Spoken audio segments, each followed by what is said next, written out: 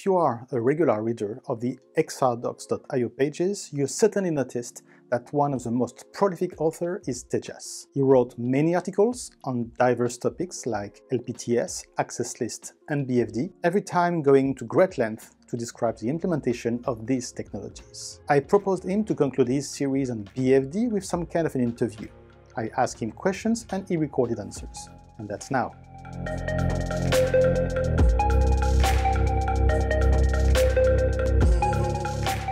First thing first, can you please introduce yourself? I'm Tejas Lad and I'm a technical marketing engineer in the Cisco MIG BU.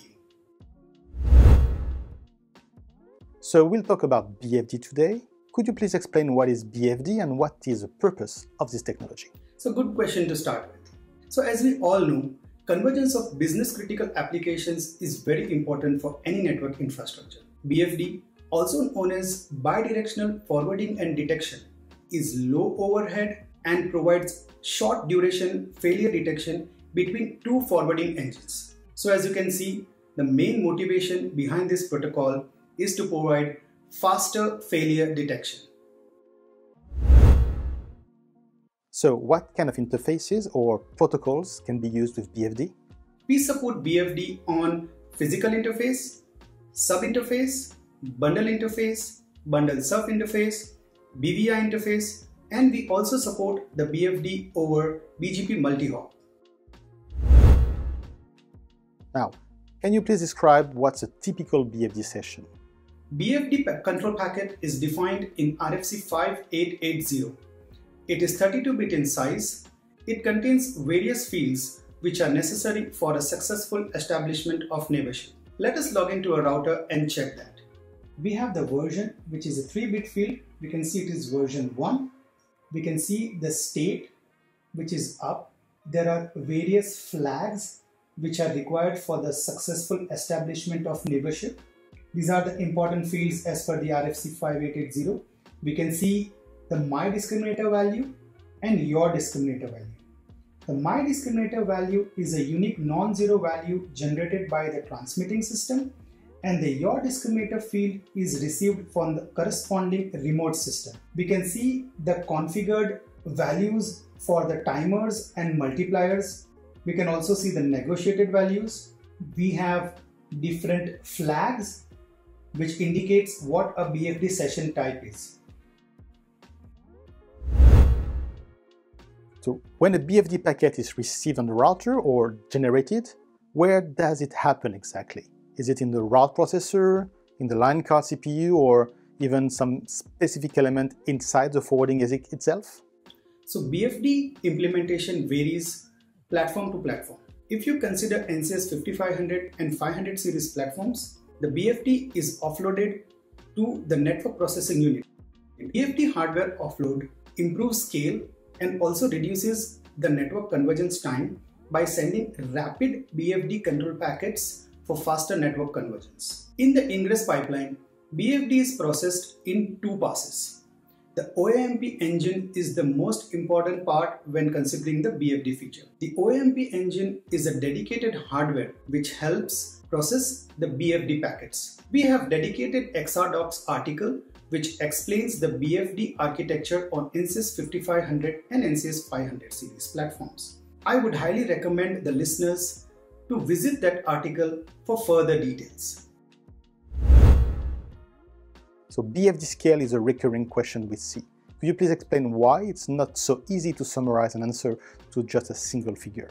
The OAMP engine, as I said before, is the most important part when considering the resources for BFD.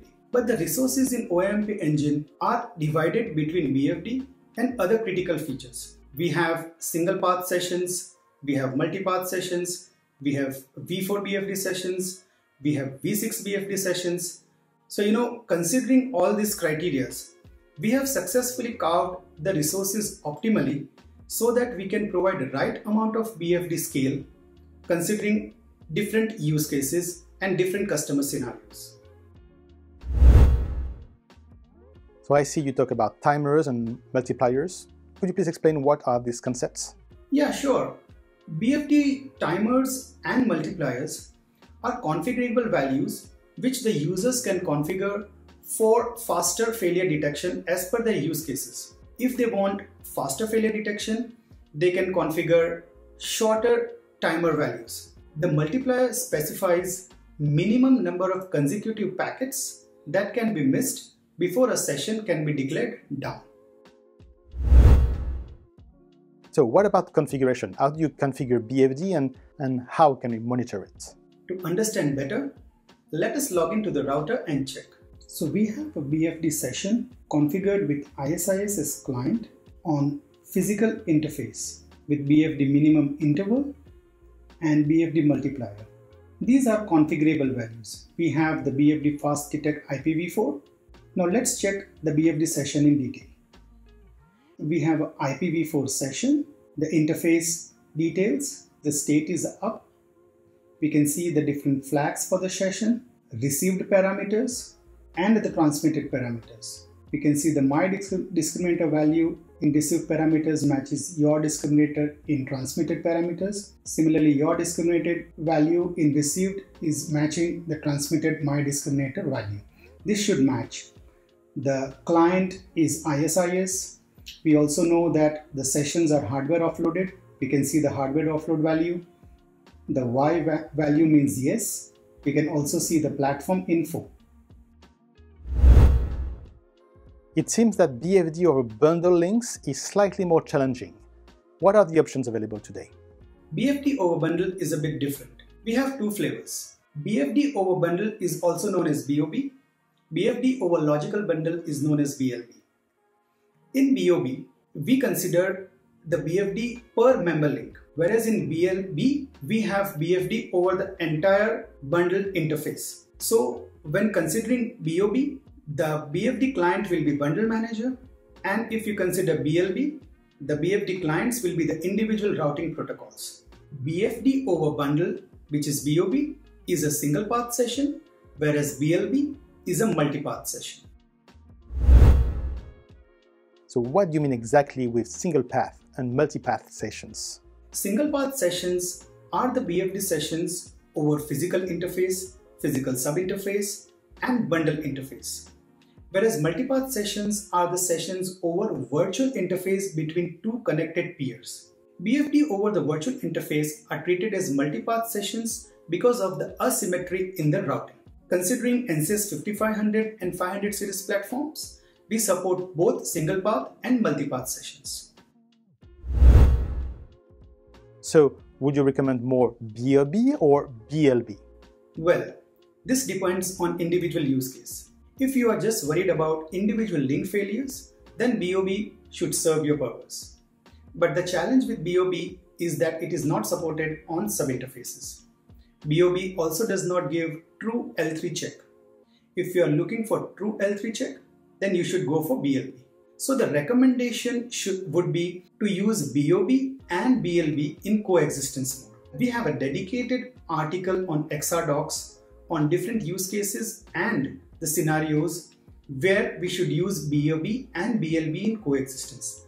I would recommend the listeners to go through that to understand the coexistence feature in more details. Okay, good to know. Any other configuration trick we should be aware of? BFD configurations are quite simple.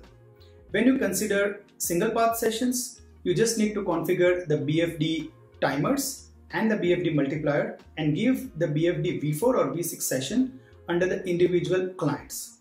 If you consider multipath sessions, then we need to enable the knob which will host BLB sessions or multipath sessions on the particular location so we need to specify the location on which the multipath sessions need to be hosted.